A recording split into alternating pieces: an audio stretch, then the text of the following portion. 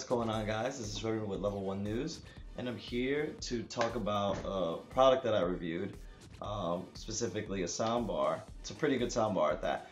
I reviewed um, JBL's 5.1 soundbar. Now, this isn't like any other soundbar in the market, um, and when I say that, I mean that it literally takes on the form of different kind of components and ways that you can actually set this up around your house, your apartment, when you're when you want to put a different kind of listening experience. So basically, right out of the box, you get um, a subwoofer, a giant soundbar, and two detachable speakers that come from the actual main soundbar itself. And so what I mean by that is this little beauty. So the this is one out of two soundbars that go two one out of two speakers that go off of the side of the actual main soundbar and you can put this in a listening listening position where it is behind you, it is next to you, and it becomes a surround sound. And not only does it do that, it does it wirelessly. I know it is actually pretty cool. Um, it comes with brackets so that you can mount things all around, including the main bar, and it actually comes with the subwoofer. So really, off the bat, it's a good deal. Um, you're getting the bar, you're getting detachable speakers that make it a 5.3.1 setup or like surround setup, and you're getting the subwoofer. Um, components, or should say, speakers and other soundbars in this nature when you want to start getting to the whole the soundbar being your main and then a subwoofer can can charge you anywhere between like 300 400 500 to 600 dollars a piece for each unit.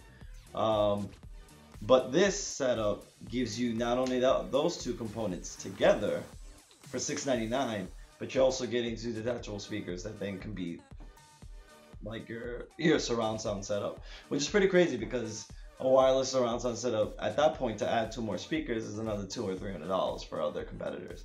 Um, so what you're getting here is a 510 watt speaker system. You're also getting a 10 inch bass uh, with enhanced sound in it. You're getting HDMI components input for the soundbar, optical, and so forth. And for the HDMI, it supports 4K setup, so you can obviously put that through. Uh, for my setup, I did anything between put uh, passing it through for the 4K and then getting the sound off of the sub of the soundbar, or I can plug it into the TV and then just do an ARC, which is the audio return channel, and you'll still get all the same systems. Or if maybe things happen in the future where then you're gonna need better, um, you know, like HDR plus, uh, HDR 10 plus, or other things like that, or maybe even Dolby Vision. I'm not 100% sure if that all passes through. That will definitely work with the setup of having it through your TV and then back down to the actual soundbar. So the biggest thing for us is that, you know, how does this thing sound? And it sounds pretty good. Um, I would say vocals came out very clear, speech, uh, while people were talking in movies, um, concerts, like performances that I saw, the voice and dialogue came out very clear. Uh, then when I would put on things like Netflix and stuff, that's when you start hearing really the disperse of the actual surround happening. If I had the speakers detached, even if I did it, I got a very big, like enveloping amount of sound that came out of it. And then the subwoofer is actually a pretty strong subwoofer, which you could actually tune with the remote and kind of have that whole thing set up and like get some stronger bass or get other things going because it actually has a decent amount of features within the subwoofer, I mean, within the soundbar itself that come up on its display. For movies, it sounded really good. Uh, like I said, the dialogue and everything sounded really good. For games, I heard really nice crisp sound coming out of it.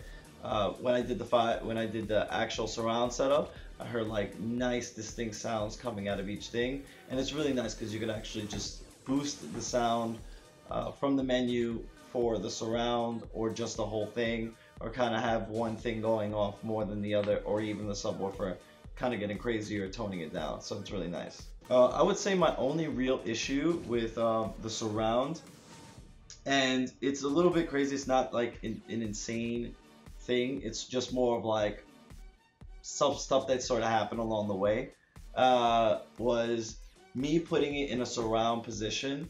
Every once in a while, I would say between mid to low battery, I would start to hear a crackle, like every so often, and that looks like it's like maybe it's like the connectivity is breaking up and there's like some sort of interference. Although there is a low low frequency like that it's using for this, so that nothing's actually, you know, things come out pretty clear on it. It does sometimes give me like a crackle, um, which is a little odd, but that didn't last too long. I would say like it lasted like a minute, where it was like a minute or two of crackling, and then it kind of just went back to normal. But it was very odd that it like happened, and I was like, I was wondering if I was like putting something in the way, or there was just like not enough, you know, like there was too much distance in between. Um, which I, I really didn't. I had it like in a medium room, living room, um, bedroom setup. So I feel like it, the connectivity should have been fully there, strong, but it could be anything from that to like it just be, you know like dying or whatever. And I mean the thing has like 10 hours of battery life, so it'll last you a decent while before you have to just connect it again. And then with connecting again, your uh, it charges uh, three hours until you have to like put it out again. And I mean putting it into one soundbar, I would use it to I would use it in both orientations. I would have it like in got a lot of sound coming at me, or I would detach it and I would just get the surround going. So really cool. And just to give you like a decent look at this, this is like what it looks like. Really, really nice speaker. Obviously it says, it's right there, 5.1. So really nice. Um, I actually really love this unit, and it comes in a really like adorable package where it's like the whole bar is there, the subwoofer's there. It's almost like you're packing a like a like a basketball or a soccer with like a baseball, and like you're trying to like wrap it together. It looks like that kind of sort of setup where you're like, I have no idea what this this is in this box, but it's like it's big and it's all trying to make like the shape of what it is. So I would totally recommend this. Um, I had really fun reviewing this. This is a really unique product. I would say. Oh, one more thing I have to mention: if you were, if the battery was dying, uh, or you know, like it looks like it needs to be charged or whatever, it does have a USB in the back. So if you do have this in a surround setup where somehow it was close to an outlet of some sort that you can kind of power it, then you can kind of get that going on either side have that thing going continuously. So it doesn't always have to do the rinse and repeat of being in the unit and then being out and then being in the unit being out. If you have some sort of, you know, permanent, more permanent solution, if you want to do, if you want to call it that. Uh, so that stuff is is pretty cool to add.